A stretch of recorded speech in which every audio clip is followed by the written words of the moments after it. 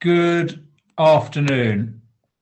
Hello, uh, I'm Danny Kruger. I am the uh, MP for Devizes and I'm the chair of the All Party Parliamentary Group for Dying Well, which is hosting this seminar and very, very pleased to see so many people join us today. I think this is the best attended meeting we've had yet, um, which I'm very pleased about and reflects the importance of this aspect of the uh, of the agenda and the debate around uh, the potential legalization of assisted suicide.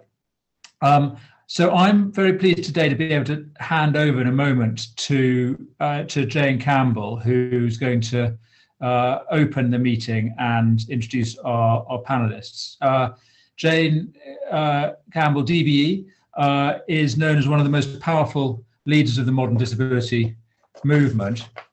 Uh, she's, uh, she's had a 40 year career campaigning for the rights of disabled people, uh, especially through parliamentary engagement in the field of equality and human rights legislation. She's set up very, she up a, a number of disability organisations, including the National Centre for Independent Living and Not Dead Yet UK.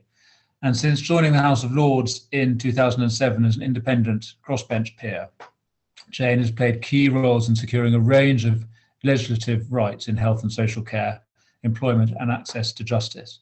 Uh, she's also effectively fought off three private members' bills to legalise assisted suicide. Uh, so we're in good hands. I'm, I'm very uh, excited to, that she's going to be running uh, this meeting today.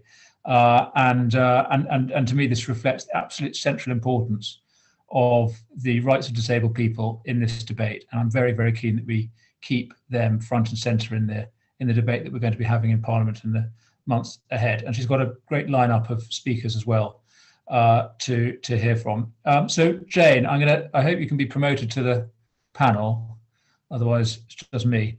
Uh, I hope that's about to happen. And um, uh, and you're going to uh, introduce Peter and the first speaker. Thank you, Danny. Um, and yes, I am old. I have fought off many, many bills um, and select committees, and I've also been in the High Court on this issue. So uh, I guess you can call me an old hand. But I'm here tonight and welcome everybody. I believe there are over a hundred people zooming into the seminar, which I'm delighted to um, take you through now. And I'm going to introduce you to three disabled speakers. Two members are um, members of Not Dead Yet, and we have a visiting guest who intuitively supports assisted suicide, but does not support the Meredith Meacher's assisted dying bill.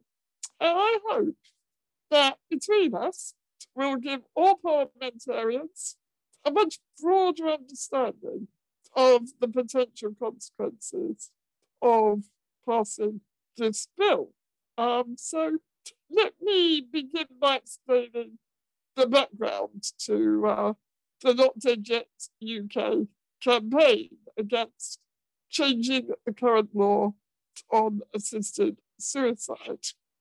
I founded the organization in 2004 when my colleague and my good friend, Lord Joffe, introduced the first assisted suicide private members bill into Parliament. Suicide is not uh, suicide is not illegal, so therefore it seemed perfectly logical to me to offer those who cannot commit suicide for reasons of disability the means to do so. For example, in the same way that I have assistance to eat, to breathe, and to work. But of course, logic doesn't provide all the answers. And I was soon persuaded to change my mind by increasing numbers of disabled people who contacted me expressing their fears about the bill's unintended consequences. They felt that it would simply amplifies society's commonly held belief that sick and disabled people's lives were tragic and not worth living. And this was bound, this was really borne out by the media. They believe that as an unintended consequence of assisting us to die, alternatives such as investing in palliative care and support for living would come second, secondary. And it, it would be much easier and cheaper to assist us on our way. So I began to research the issue, both nationally and internationally, to see what the evidence said. The evidence was very important to me. Unfortunately, it confirmed this fear. Individuals identified by the legislation as being the potential beneficiaries of an assisted death were not receiving the same equal rights to live with dignity and respect in all the jurisdictions that I looked at at the time where it was legal.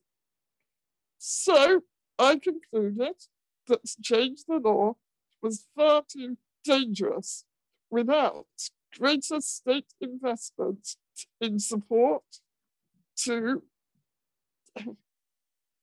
in support to live, but not only live or survive, but to thrive without pain and with dignity. To that end, I convened an open meeting open to all disabled people and those who may be seen as beneficiaries of legalizing assisted dying and basically ask them one question What do you want to do? And on that day, Not Dead Yet UK was born. Our slogan is to assist us to live first, to live with full access to palliative care and support to thrive before devising ways to assist us to die.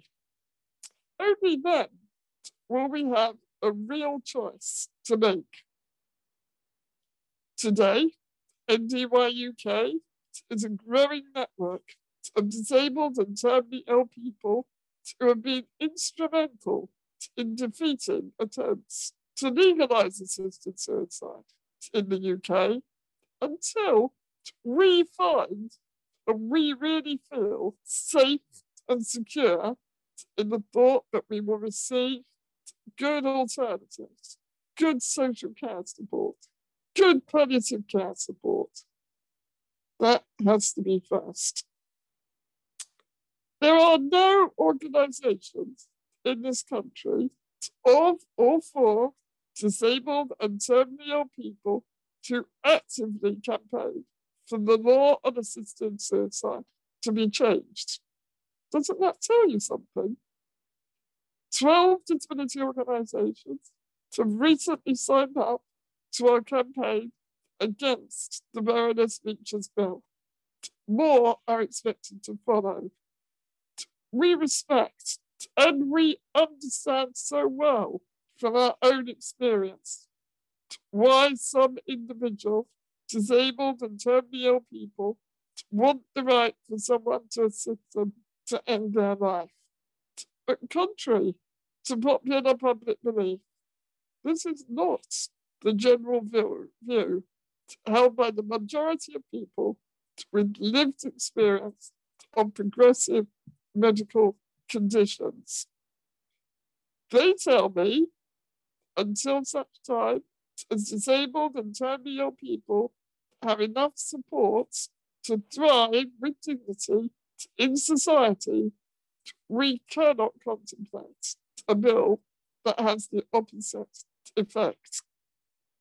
So, let's give you some real data and evidence. I'd like to introduce you to our first speaker. Peter and I became friends after I watched his documentary on Channel 4 last year. Dr. Peter Scott Morgan is a polymath who earns the first robotics PhD in the UK. He is acknowledged as the world expert in the unwritten rules that drive civilization and currently leads an international team pioneering the application of cutting edge artificial intelligence to extreme disability. I think your mind will be blown. Over to you, Peter.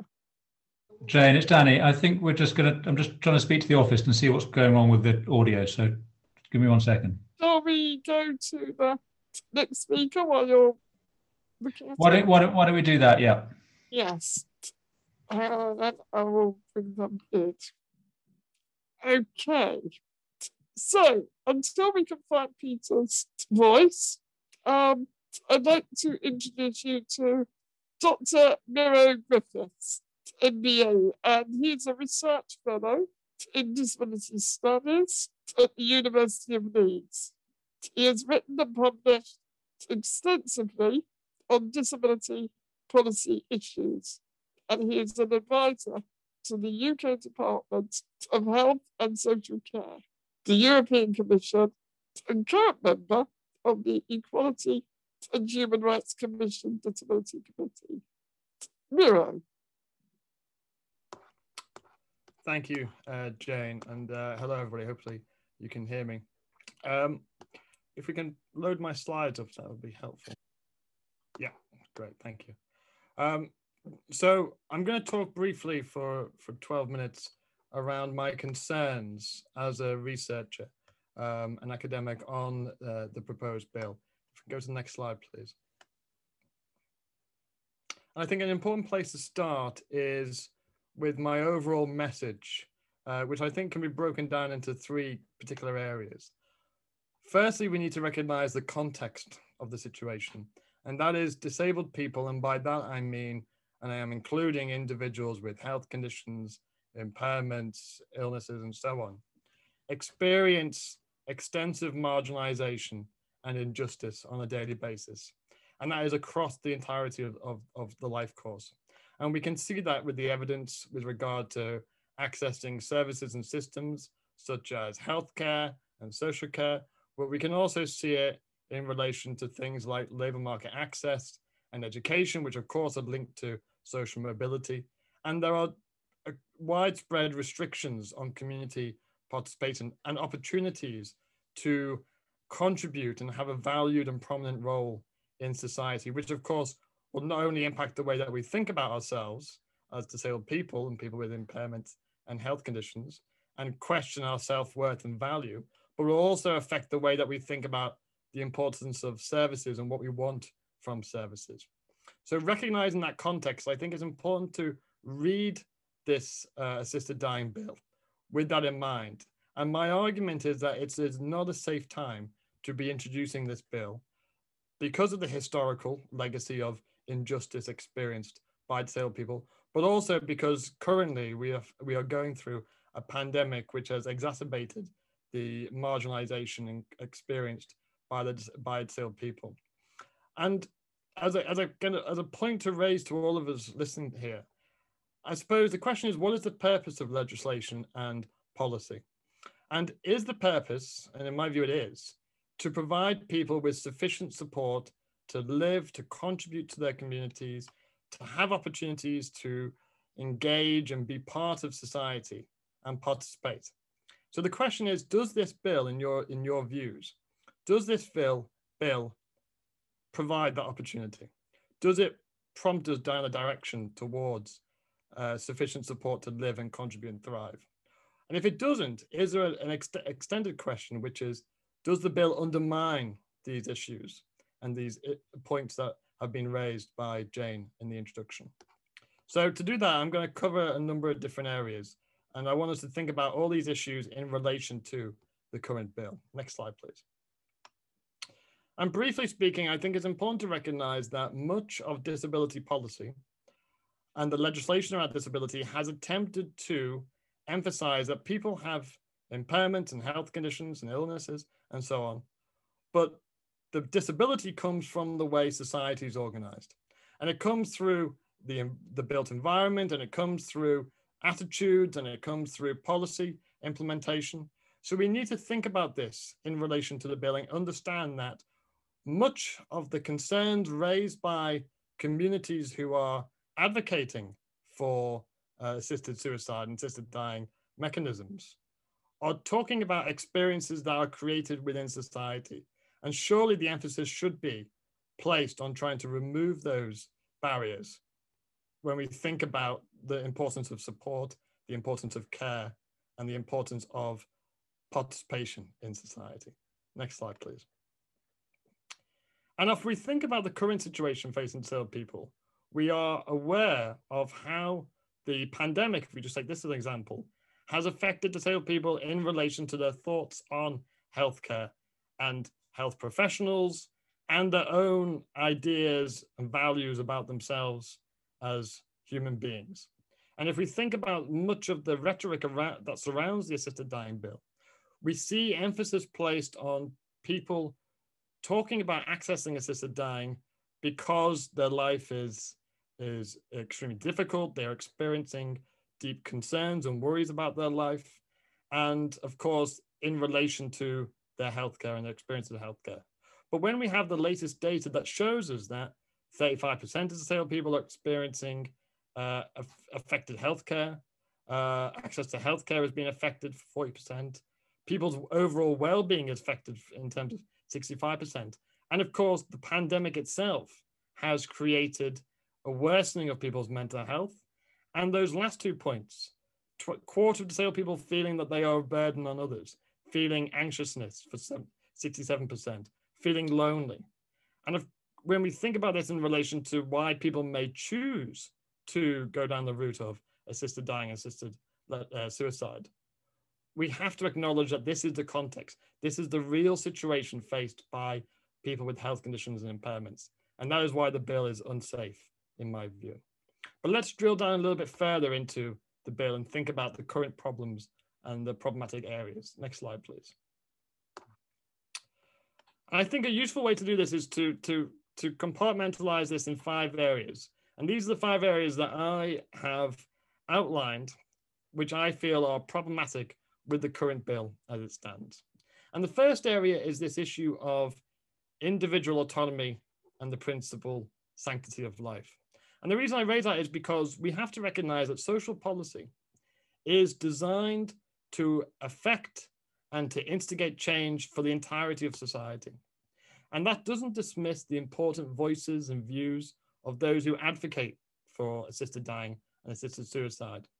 But what it does recognize is that we have to base our opinions on the way that legislation should be organized and the way that social policies should be uh, implemented on how they will affect the totality of society, how they will affect our behaviors and our thoughts and principles about certain aspects, and of course, how they will affect the provision of services and the infrastructure around that. So we have to think about how the bill is going to implement uh, mechanisms and procedures which will undoubtedly change and shift the way that we think about healthcare and healthcare professionals. And of course, the importance of sufficient support to exist and be part of your community. And we can see that in particular areas such as the shifting of social attitudes and perspectives. Often the language that is used uh, surrounding the terminology surrounding uh, advocates for assisted dying propose this idea of relieving a burden or relieving stress on families and informal networks. But we've seen this also translated in countries where there is assisted dying and assisted suicide infrastructure.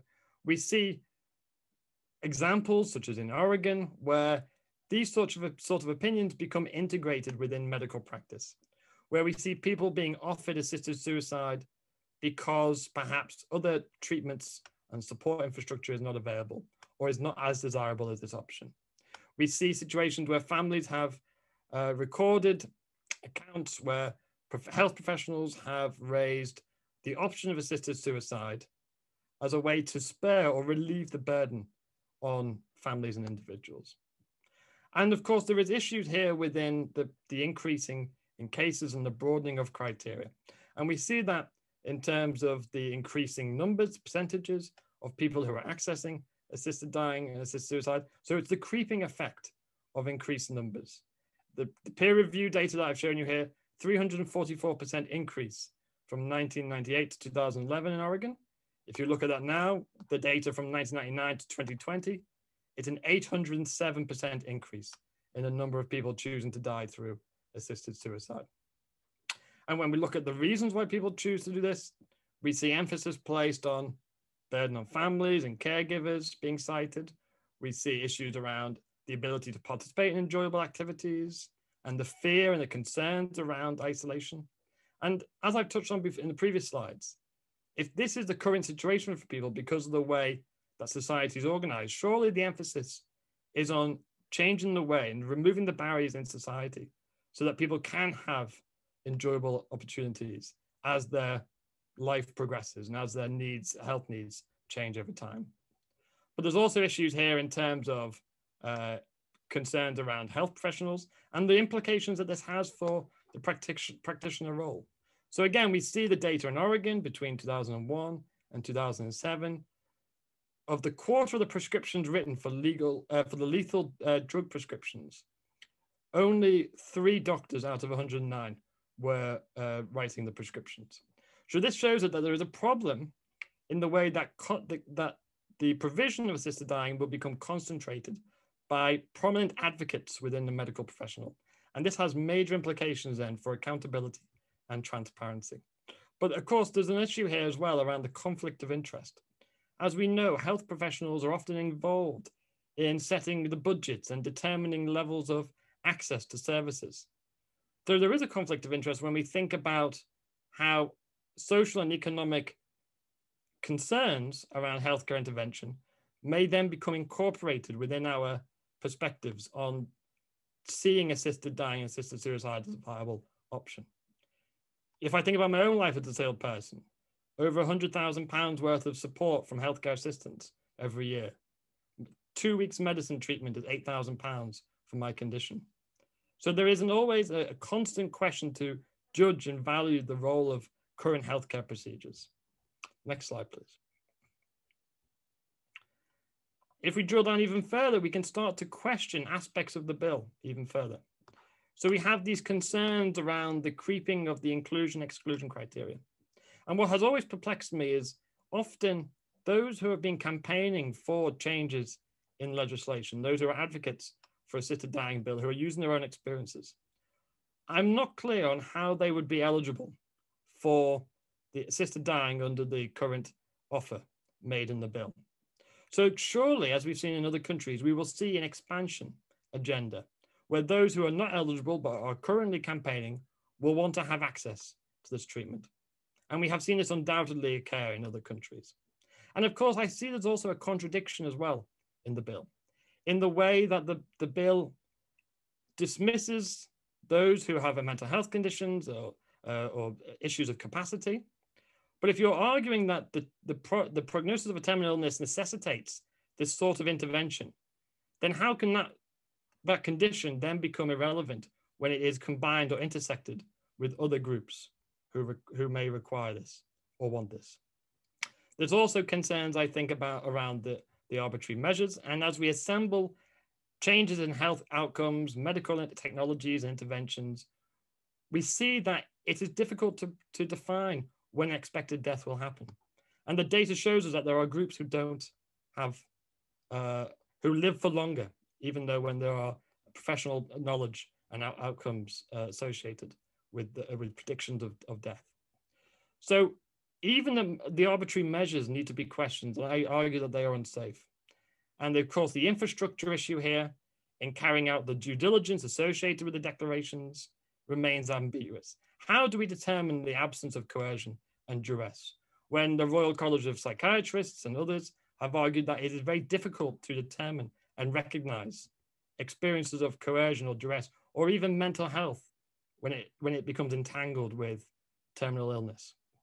And my and again, this point I keep making about how the emphasis is on improving disabled people's access to the community, participation in society. So surely we should be emphasizing resources on healthcare and social care and the broader strategies associated with our participation, And this becomes a way to think about the importance of healthcare as our body changes, rather than attempting to accelerate mechanisms and approaches that will ultimately end with individuals dying.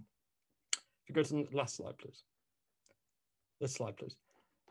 So my argument here is that I think the bill remains unsafe as it currently is. I think it is introduced at a dreadful and dangerous time. And we have to acknowledge the context of SAIL people who are being marginalized in society, exacerbated by the pandemic. And I'll leave you with a final point, which is which has often perplexed me. Often those who support the bills and, and advocates of assisted dying dismiss the concerns by campaigners and organizations and scholars who are against assisted dying bills such as, such as this one. But if the bill is supposed to be coherent and reliable and, and safe, then surely those who are advocates for it should be able to demonstrate how all of our concerns can be addressed through the current ways in which the bill is, is, is being designed within the current procedures of the bill. Because if the concerns that we have raised cannot be addressed within the current iteration of the bill, then surely the bill remains unsafe. And that's where I'll stop. Thank you very much, Miro. That was superb. There is a great deal of data there that we will let people have after the seminar. Uh, we're going to give it another go, so bear with us. Peter Scott Morgan, please speak. Noble and right honorable ladies and gentlemen. I find myself intuitively supporting the assisted dying bill. To me, its intentions appear so obviously reasonable, compassionate, humane. But as a scientist, I'm trained to question even the most obvious, especially the obvious. Because if those most fundamental assumptions, the unquestioned assumptions, prove false, then every conclusion based upon them is invalidated, even the reasonable, compassionate, humane ones. So, as part of your due diligence, I invite you to focus on the most fundamental, most unquestioned assumption of this bill. The apparently self evident truth that, with an untreatable condition, such as late stage motor neuron disease, MND, with someone diagnosed as being within six months of death, there is no reasonable expectation that the patient can not only survive, but thrive for many years with an increasing quality of life. It's a crucial test for me. If that seemingly ludicrous scenario occurred even once, then it would unravel all the reassuring assumptions underpinning my intuitive support for the bill. Everything would be called into question because of confusion about the likelihood, let alone inevitability, of intolerable suffering. Concerned that we are not only shortening life by a few months, worry there are insufficient protections against patients not being fully informed. Uncertainty between being terminal and simply being disabled. Danger that some with extreme disability may unnecessarily kill themselves in an anticipation of what they incorrectly believe will inevitably happen and the ethical risk of protecting an individual's human right to choose to die without putting the same effort, education, and funding into their right to thrive. None of this fundamental unraveling would undermine the bill's basic premise that this is a personal choice, but it unequivocally would undermine the assumption that the choice was fair. I know because this is me. I have late stage MND. In 2017, doctors agreed I might die within six months. Now, I'm almost completely paralyzed, locked in. I'm a prime candidate to be fast tracked for death. But I'll pass on the offer. I'm frankly far too busy having fun. Let me explain how, and invite you to decide whether I trigger the criteria for revisiting the assumptions behind the bill. Does what's dubbed the world's cruelest disease nevertheless inevitably suck the joy out of life? Look, I found the trick to enjoying total paralysis is simply to imagine you're in a luxury spa hotel and the maitre d' insisted you put your feet up and you don't move a muscle. It's brilliant. The life of a sedentary pharaoh. I've discovered my inner slob. And no one complains. Even better, paralysis is an engineering challenge, far more than a medical one, and that's something I know a bit about. You see, with MND, the good news is that you'll always be able to go to the loo. The bad news is you'll never be able to get to the loo, or eat, or drink. My solution was to completely replumb my gut and add four new connections food in, liquid in, waste number one, waste number two. But it had never been done before. So I booked to see a top surgeon at my local NHS hospital here in Torquay and explained my ideas. After a while, he shook his head and said, Of course, we should be offering this on the NHS. A few months later, a trio of him and two other surgeons performed the first ever such operation in the world. Now, I never have to get up at night. I can eat while I'm asleep, and for the first time in my life, I drink over two liters of water a day. For me, it's been a definite upgrade. Now I was guaranteed not to starve to death. There remained the pesky problem of carrying on breathing. Lots of people with MND die of a type of pneumonia caused by saliva getting into their lungs. So I came up with the idea of using an operation designed for throat cancer that detaches your windpipe from your throat so saliva can never get in. It turned out I was the first MND patient the NHS ever did this for. The only downside was I had to sacrifice my voice box. So while I could still speak biologically, I worked with an amazing company in Edinburgh to use artificial intelligence, AI, to clone my voice. This isn't how I'll end up sounding. That'll hopefully be indistinguishable from how I used to speak. But my Peter 2.0 voice already sounds very like original me, and it's beginning to show some of the emotion and emphasis and pauses that define the real me just as much as my voice. I'm planning to use more and more AI to work with me on everything. Everything from speaking to controlling things to moving about. I need AI to second guess what I'm wanting to communicate, to partner with me, like a jazz combo. And yes, that AI. Which some of the top tech firms in the world have started researching with me. We get better every year in pace with computer power. That's going to transform my ability to convey the real me, the one inside. A year ago, we set up a charitable research body called the Scott Morgan Foundation to act as the focus for a hugely ambitious research program stretching across decades. And we've been unbelievably lucky in being able to attract some of the world's top brains to get involved. Our mission is to completely rewrite the future of disability.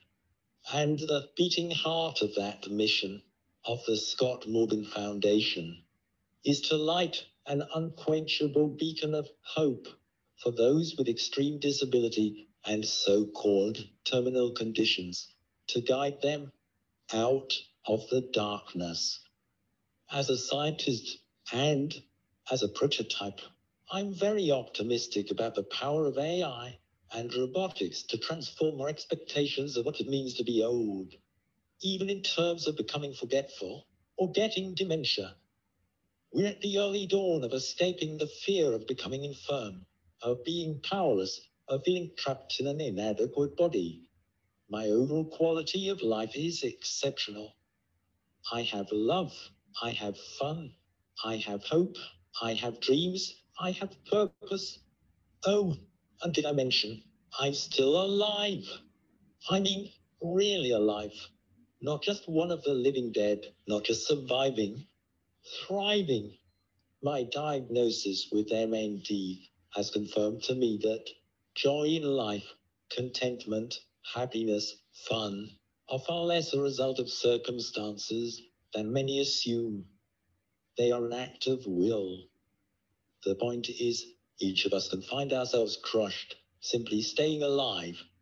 But each of us can also choose to rise like a phoenix and thrive, whatever we are, whatever our background, whatever our circumstances, whatever our ambitions. Of course, it's scary, but when our response to our clash of hope and fear is nevertheless to deliberately break the rules, rebel against fate, forge our own destiny, then sometimes, impossibly, we get to leave our fingerprints on everyone's future, and we change everything. I want you to meet someone. He's a human phoenix, rising from the ashes of his old body, transformed, reborn. He is also me, the real me. Peter Unleashed. This is who I'm transitioning to.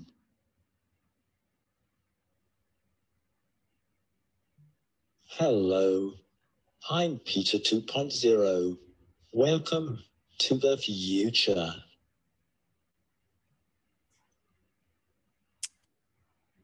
Well, thank you very much, Peter. Um, and I think it's really important for me to tell all our viewers that you are the first or one of the first to see Peter's new um, avatar uh, that has, as you can see, all sorts of features to make Peter's voice alive with expression. So thank you very much for that, Peter. Again, I think you must have given all of us some real food for thought as a living example of someone who is really transitioning from the experiences of having an extreme impairment, terminal impairment, as people call it, of MND. So, moving swiftly on, I would like to introduce you to uh, the last speaker today, Phil Friend. Phil has been an active supporter and co-convener with me since 2009. As the organisation got bigger and bigger, I certainly couldn't do it on my own. And Phil has been a great stalwart by my side since then. After a very successful career in social work with children, he set up a consultancy and training company that promotes employment, independent living, and social inclusion programs for and with disabled people. Phil, over to you. Thank you uh, very much, Jane, and thank you everyone else for for joining us uh, this evening, well, this afternoon. Um, how do you follow the previous two speakers is the challenge for me, and I think in discussion with colleagues about my part of this process, I wanted to talk primarily uh, from a slightly more personal view. Um, just to kick things off, uh, I uh, contracted polio when I was uh, three. I've therefore been disabled for most of my life, and I should explain that as a result of that, I dream in a wheelchair. I do not dream walking. That's not what I do. So um, for me, disability has always played a major role in my life as a result of that, uh, I've been very fortunate to be uh, born into a country which has a medical care system and other systems in place which enable me to live a very full life. I was born just before the National Health Service was formed. I benefited hugely from the fact that it existed. I was placed in an iron lung because I was completely paralyzed and couldn't breathe. And doctors and other medical professionals did everything they could to ensure that I survived that experience. As a three year old, I was then received into hospitals where I spent many of my childhood years, and then went through a special education, which equipped me, maybe not as adequately it might have done, but this is a long time ago, to deal with the world that I was about to uh, move into. And I think what I'm wanting to remind myself and the listeners to this is that the medical profession plays an absolutely key, crucial, and vital role in the lives of all of us, but particularly those of us who have disabilities or long term health conditions. We are frequent users of their services. And there's no doubt in my mind that without the care and attention I received, I wouldn't be talking to you now. So, now, what the Meacher Bill does for me and for many disabled people, and I think it's a awesome responsibility to be talking to some degree on their behalf for those that can't be with us this evening. Um, the simple fact of the matter is that the Meacher Bill begins to place some doubts in our minds, and I'm convinced doctors' minds, about what their role is. I've always had, and I think many, many people like myself have always had, a complete and utter faith and trust in doctors and medical professionals. They've always done what they could to enable me to live the fullest life possible. But more recently, and as Jane mentioned, you know, we've been involved in campaigns on and off for a long time now as bills have come and gone to try and change this. My most scary thought is the fact that doctors are now going to be asked to consider ending life rather than saving it. And that, I think, undermines the whole relationship that exists between the patient and the doctor, that it's an option that might be offered. At the moment, it's not an option that could be offered. So we have to search for other ways to do things. The BMA later this year are going to hold another conference where they will discuss this issue and they will be urged, or at least we believe they will be urged, to change their uh, position on the subject of assisted suicide and um, to uh, agree to it. Um, we are really worried about that. We think that the doctors are, the doctors specifically, are the people that uh, protect us from the kind of thoughts that life is not worth living. And I think a quote that I'd like to use from Robert Twycross, who is a, a palliative care doctor, says something important here. He says palliative care is based on the belief that life has meaning and purpose up to the moment of death, whereas assisted dying is essentially nihilistic. Expecting health professionals to deliver both palliative care and assisted dying, in other words, to face in two directions simultaneously, is too big an ask. So, one of the greatest challenges that I believe the Meacher Bill proposes for disabled people is the threat to the relationship we have with doctors and others who look after us. Now, much has been made, and Miro talked about it, uh, and so did Peter, the idea, the concept of being a burden. And Miro specifically talked about the perceptions of disabled people or disability. And historically, disabled people or disabilities have been seen to be uh, about suffering and pity and hopelessness and tragedy. Uh, these kinds of words are used to describe both disability and disabled people. And over the last 30 or so years, there have been active campaigns to try and shift this view. And some of you will have heard of the social model of disability, which it shifts the emphasis away from the individual more to the uh, discriminations that the individual faces. But there is no doubt in my mind that disabled people are still viewed pitifully. And while that is the case, it's very easy to therefore take a view that it would be easier for this individual to end their lives. After all, it, it can't be uh, successful. They can't hope for futures. They can't aspire to do things. And I would remind all of you that I, as a result of the treatments and processes that I received, I had a very successful career. I have four children. I have five grandchildren. I'm still doing very nicely, thank you, and living a life to the full. So, this idea that disability is something to be pitted and therefore we should act kindly towards it doesn't cut much ice with me, I have to say. I think on the family front, where we're you know the idea of the safeguards in the bill the proposed bill are that the, you know there will be safeguards to protect disabled people and some of that is based on uh, the notion that uh, we will give our consents and so on and so forth. But I'm reminded that uh, some families are not nice. Some families do not treat their family members well, particularly their disabled well, uh, disabled family members well.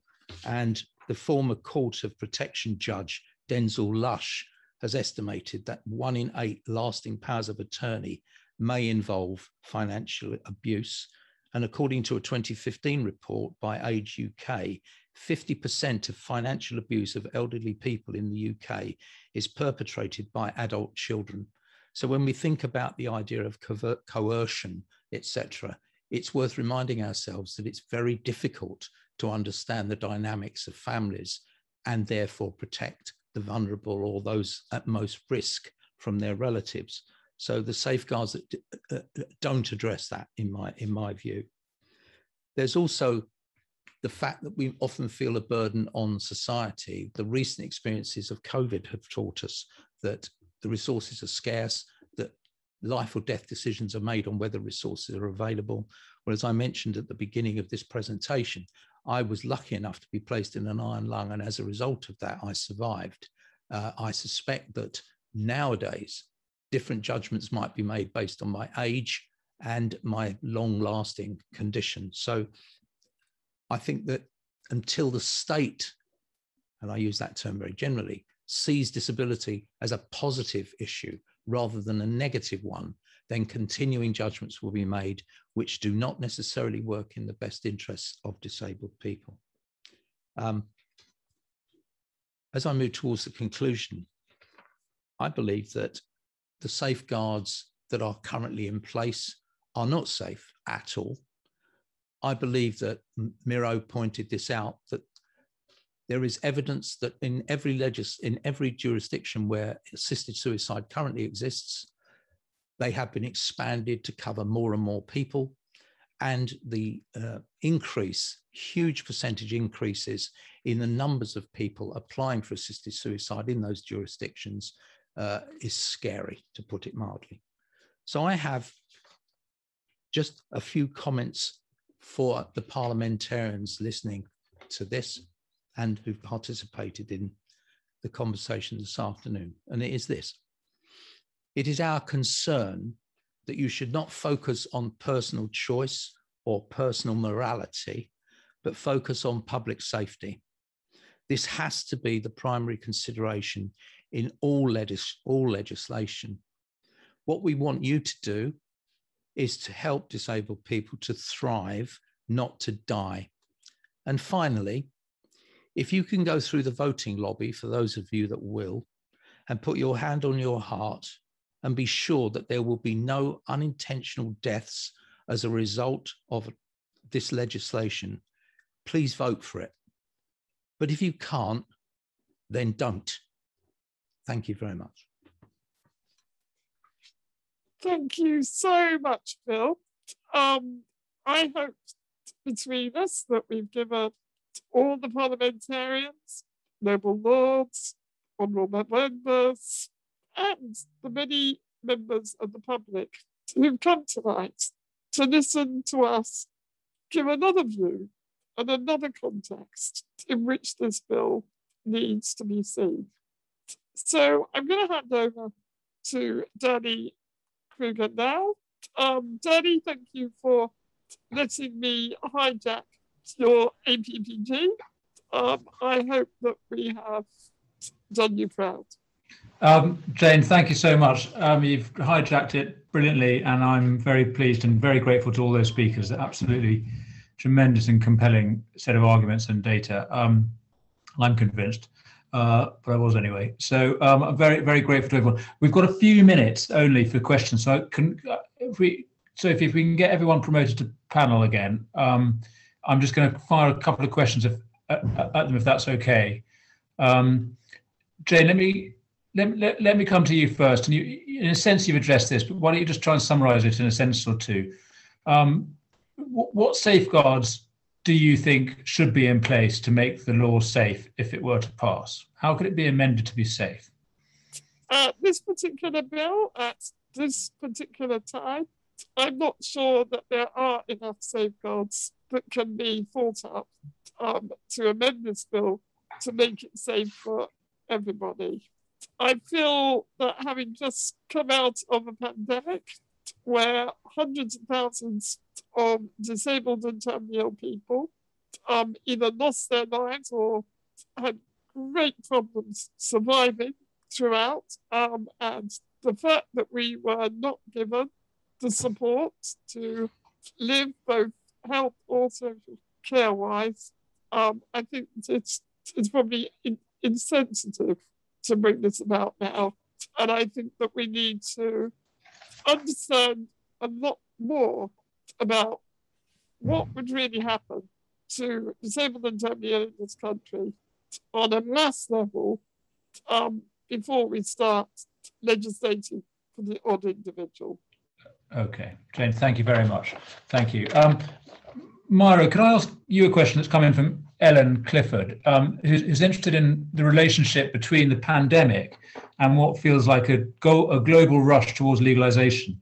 Uh, so Spain, um, Canada, uh, other parts of the UK all, all, seem interested in this. Do you relate that to the pandemic, and what do you what do you see as the connection, if any?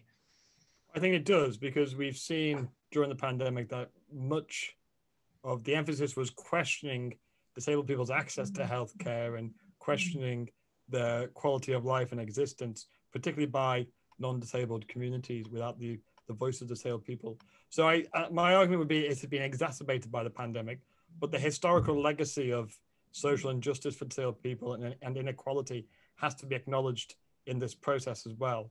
And when you have had a legacy of campaigning by disabled people's organizations across the globe that have based the majority uh, of their arguments on sufficient support to live, to contribute, to have opportunities in society, surely that should be the emphasis of parliamentarians and policymakers, rather than debating and questioning mechanisms and operations that will accelerate opportunities to, to die, and of course, bring a real problematic situation for government which, and medical professionals, which is to facilitate death.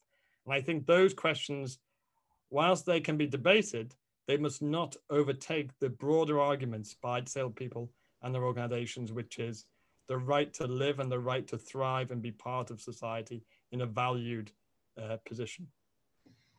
Miro, thank you very much indeed. Thank you. Uh, and then my, my, last question for, is for you, Phil, and it's coming from James, who who who says says this um, that suicide is legal in this country. Uh, he is too well. I'll read out. I am too dis- severely disabled to to commit suicide without assistance. Uh, if I become terminally ill uh, and I'm suffering intolerably, what what advice do you have? this for a year and I still forget to unmute. Apologies, James. Um, what I was saying was that I think I'd the first question I'd ask is why is he suffering intolerably? I think that we've got uh, a long way down the road of helping people feel comfortable and at peace in a sense with the at the end of their lives. So that's my first response. But I think the second is that I uh, don't believe that allowing the Suicide Act to be extended to include assistance to die um, necessarily helps the majority. It argues against providing good services at the end of life because it's cheaper and quicker to end it. And we've got evidence from a number of economic papers that suggest that one of the big pushes is that long term care costs a lot of money, whereas, of course, assisted suicide drugs don't. So for me, it's not about personal issues. I do recognize that many people suffer or feel they, they may suffer and want to do something about that and take control over their lives. But I think that puts the rest of us at jeopardy. And that's why we take the position we do.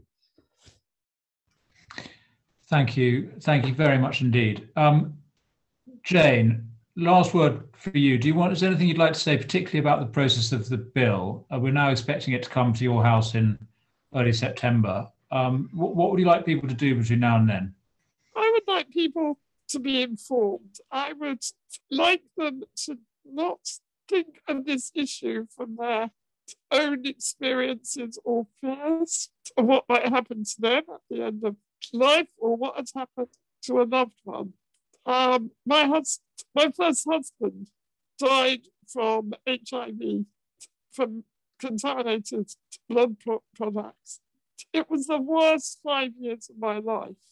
And if I took that one experience and said, this is the reason why I would have liked to give him assistance to die when it was extremely difficult at the end of his life, I would know that that would be wrong because it will affect thousands of others negatively.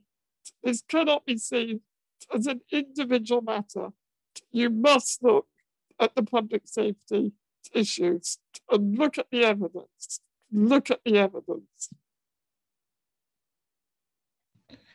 Jane, thank you very much. Um, very, very powerful. I hope you also give the practical advice to people who are watching to write to their uh, write to parliamentarians. That's what we, we hope people will do over the next few months. Uh, to peers. Absolutely. Yes, Um, I, I, I would ask all people, especially those with the lived experience of a terminal condition or a progressive disability, to write in and say exactly why you might be afraid or otherwise. Jane, thank you so much. And my thanks to everybody who's all, all, all our speakers and everyone who's taken part. Um, it would be great if people could uh, could contact their MPs or peers. Um, the APPG uh, website has a whole host of useful resources and material and, and information. That's dyingwell.co.uk. Please follow us on Twitter at dyingwellappg and do get in touch uh, with with my office through, through Parliamentary Switchboard or Jane's uh, if you'd like to get involved or for more information. I'm extremely grateful. We're going to close the meeting there. I would very much appreciate it if parliamentarians could stay on because we're going to have a quick election which will take 30 seconds to appoint some new officers to the APPG. But the public part of this meeting is now closed and my very, very many sincere thanks to all of our participants. Thank you all very much indeed.